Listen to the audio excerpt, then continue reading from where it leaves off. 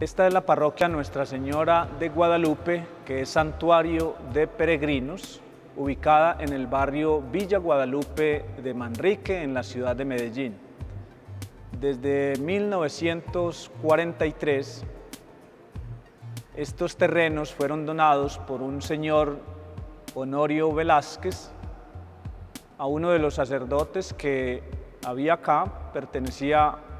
a los misioneros redentoristas. Luego, eh, Monseñor Joaquín García Benítez bendice este terreno con una primera capillita que se erigió en honor a la Virgen Morena, a la Virgen de Guadalupe, que era muy venerada en México. Si el presbítero José Ignacio Jaramillo está muy interesado en que esta parroquia tenga un cuadro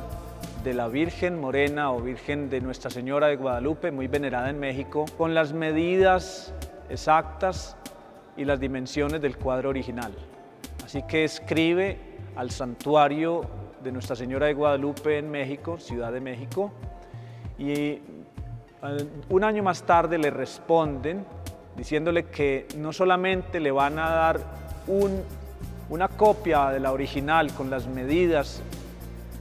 sino también una donación en dineros para que construya una capilla más grande en honor a Nuestra Señora de Guadalupe. En 1998 se estaba construyendo el colegio parroquial Emaús, justo detrás del altar de Nuestra Señora. El muro que había era muy débil y la tierra que movieron descompuso un poco el terreno, desestabilizó las bases y se cayó eh, todo el presbiterio y parte de los muros del, del templo. Y de esas cosas maravillosas que suceden, entre los escombros encuentran el cuadro de Nuestra Señora de, Guadalupe intacto y eso genera en la comunidad un sentido de pertenencia muy grande. La comunidad se une, buscan fondos entre ellos, y logran construir nuevamente este templo que en el 12 de diciembre del año 2008, Monseñor Alberto Giraldo Jaramillo erige este templo como santuario de peregrinos dedicado a Nuestra Señora de Guadalupe.